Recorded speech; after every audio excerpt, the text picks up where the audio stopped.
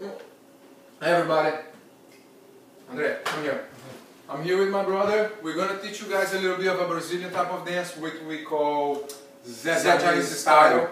So just learn with us. Would you start with?